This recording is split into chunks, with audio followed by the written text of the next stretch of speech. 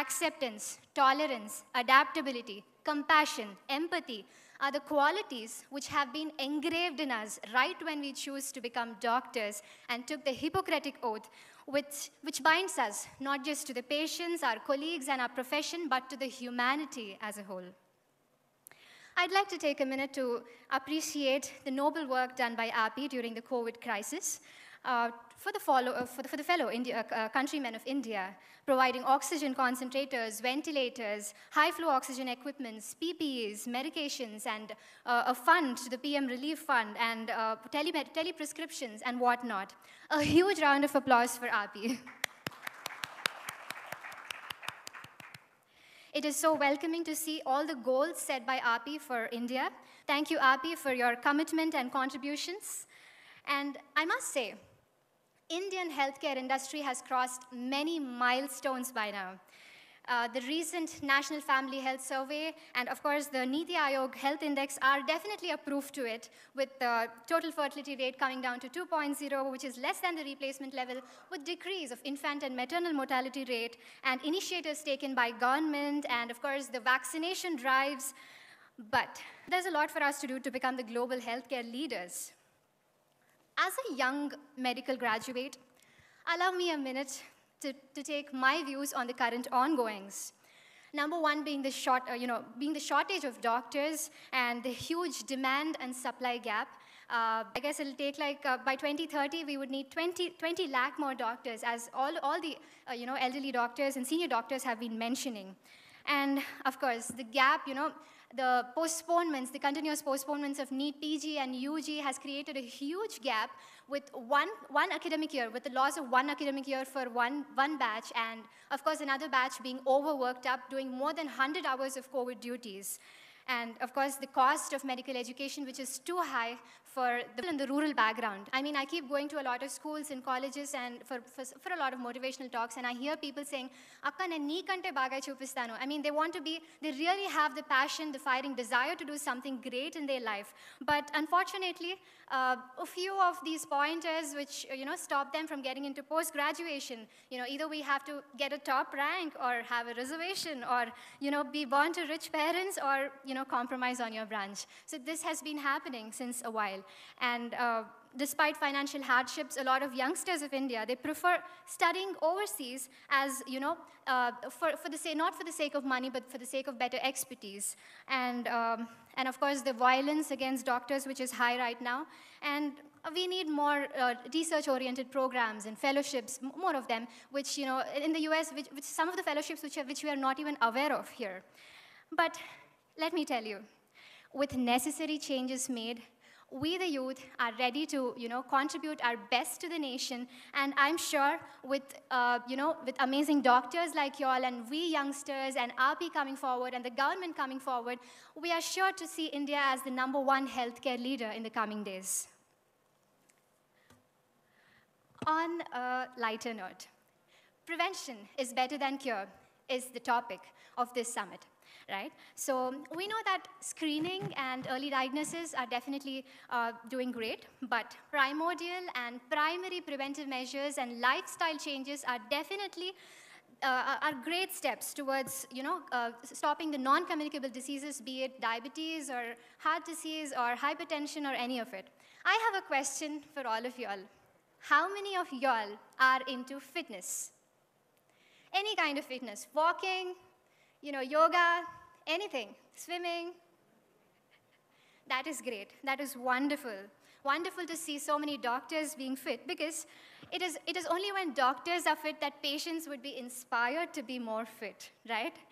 It, it is so nice to see us uh, looking, you know, looking uh, smart in front of our patients. And of course, as doctors, we get to stand 8 to 10 hours a day, and we need strong back and strong leg to be standing for so many hours a day. So it is extremely important that we keep ourselves fit right? And um, we, keep, we, we keep talking about diet, nutrition, and fitness, but how many of us make time for our own selves is important here. Because you doctors are the most precious people of our society who, are, you know, who, who would be treating millions of patients. So if you don't take care of yourself, then who will take care of the patients, right? So self care, self love, making time for yourself, for your own self, and being your own doctor is definitely the need of the hour right now. At least 10 to 20 minutes a day. I'm sure that's not a lot for us. We can definitely make more, you know, more than that actually. Uh, creating a 10 to 20 minute capsule of exercises for all of us to, to stay fit. And, you know, we all know this fact that health is wealth. And of course, you know, the WHO, I mean, I'm a yoga practitioner, uh, a certified yoga practitioner and trainer uh, who's been training so many students and the Polis Academies in a lot of places. And what I realized while doing yoga is that it, it deals not, not just with, it deals not just with the physical aspects, but also with the mental, physical, emotional, and psychological aspects which perfectly fits into the WHO definition of health, which says health is physical, mental, emotional, and psychological well being and not merely absence of disease or illness. Introducing yoga or any sort of physical activity into the, uh, you know, right from the childhood will develop a lifestyle habit and prevent them from having non-communicable diseases in their future. Not just that, it is also proved that waking up early in the morning and doing your exercises early in the morning has proved that those students are more productive and attentive. And of course, we would definitely want to look smart and more impressive and attractive, isn't it? Yes. Okay, let's keep our profession aside for a while. And uh, let's talk about, I'm, I'm sure, behind your white coats, most of you all are incredibly talented. Am I right? okay. how, many, how many singers in the house? Wow, I see a lot of hands up. At least like bathroom singers, if you are. how many singers here? All are bathroom singers. Okay, how many dancers? Wow, I see a lot of hands up, right? So, hence proved that you all are incredibly talented behind your white coats. I'm, I'm called here to give a motivational talk, but I seem too young to, to motivate all of you all. But I think this is one of the points I'd really want to concentrate on that I see amazing people, you know, you could be swimmers, singers, dancers, poets, photographers, actors, bikers, and travelers, and whatnot. Why should profession career, you know, career and our passion be an either or or option. All of us, you know, here are doctors who are specialized into different fields, but what makes us unique is that balance, to be able to balance our passion and profession. You know, balancing your work and family, you know, it is as important as balancing your passion and profession. So you know, balancing my profession and passion, uh, I mean, I have been doing that for so many years so far. And I realized that passion helps us vent out our stress. Passion helps us in times of crisis. And passion makes life more beautiful than mechanized. I've been a Bharatanatyam artist and given over 2,000 2,000 performances for the past 20 years I've been performing. And I realized that it keeps me happy. It gives me joy. It keeps me going. And it is my companion during my hardships. And as ma'am mentioned, I've had this opportunity of performing in front of numerous legends, and uh, one of my favorite being Dr. APJ Abdul Kalam sir. So during one of the conferences, uh, Dr. APJ Abdul Kalam sir has been to my college, and it was an OSMECON conference in 2013, and I got the opportunity to perform in front of him. And what he said on, on that day about, uh, you know, after seeing my performance is something which is like a message for my life and all of us as well. He said, when art and medicine join together, you create a good human being. Not only you can treat people, you can treat with compassion. I'm sure we all are compassionate doctors already, but I would definitely urge you all to, uh, to continue your, your, your passion as well. Make at least one, you know, a few hours out of your busy week one day in a week, if you can, you know, make hours for your passion, then I think uh, it'll keep you happy. I'm sure you're going to see a large difference after you do that. And we know the world is being digitalized right now.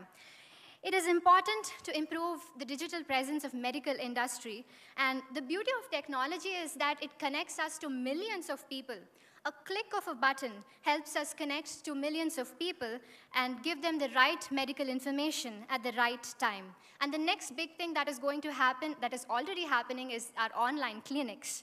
But there are definitely pros and cons for everything. This, you know, uh, the pros we already know, but the, but, but the disadvantages being that, you know, some of the quacks may, may utilize this opportunity to give wrong information and wrong treatment, which I think with some kind of regulations from the government, we can, we can definitely curtail that.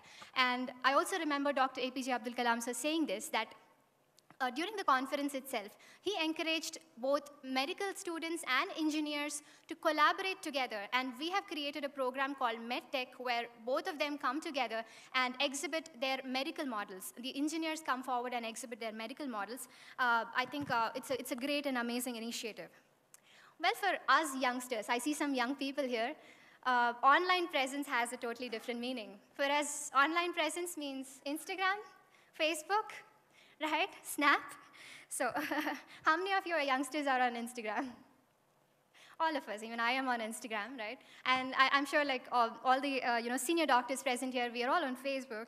But I, I'd like to highlight that there is a difference. There is a huge difference between making your presence online, you know, uh, the difference between just browsing your social media and socializing and you being the enlightening factor for people around you who are watching you online.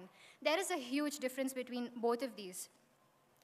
All of us young, youngsters here, uh, you know, when it comes to online presence, I think it is important that we look beyond browsing the celebrity lives and become an inspiration by ourselves and, uh, you know, become a motivating factor for everybody who's watching you online, right? And to be able to be successful, the only key is to utilize your time properly and your opportunities properly, to dream big, have a vision, and to execute that vision with a discipline and have a positive outlook towards your life, believe in the supreme power and believe in your own self. A lot of us see a lot of failures in life. Only when, you know, only when you know how to overcome the biggest failure in your life, you would know how to sustain yourself. I was the All India's best cadet of NCC honored by the Prime Minister and President of India being a doctor, being a Miss India, being a Bharatnatyam artist, a yoga practitioner, a philanthropist, and eco-activist, I can assure you that I have seen failures in every step of these achievements. I have failed once, I have failed twi twice and thrice. But you know, waking up again the next day morning and having a new hope again is what made me stand again in front of you there is a difference between winning and being successful. Okay? I never considered winning any of these competitions as being successful.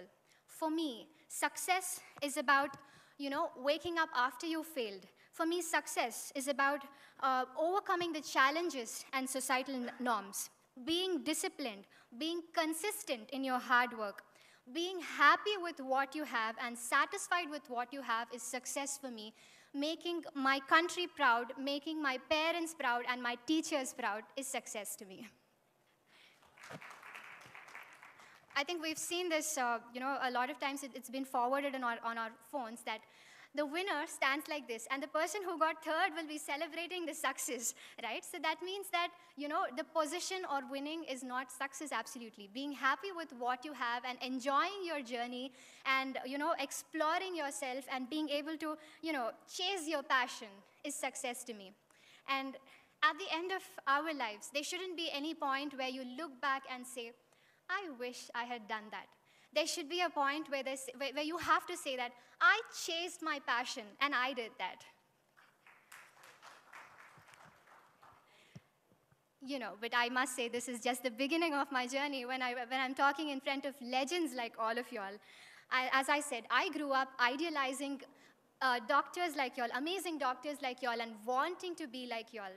With all your blessings, uh, I promise to serve my nation with total dedication and responsibility.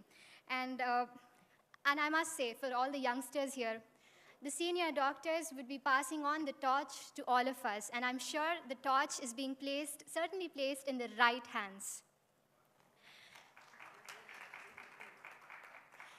Thank you so much for this opportunity. I am deeply grateful for AAPI for giving me this opportunity. Uh, and I must say that, you know, I'm, I'm blessed. I'm blessed to be standing in front of all of y'all. And uh, uh, thank you so much. Thank you.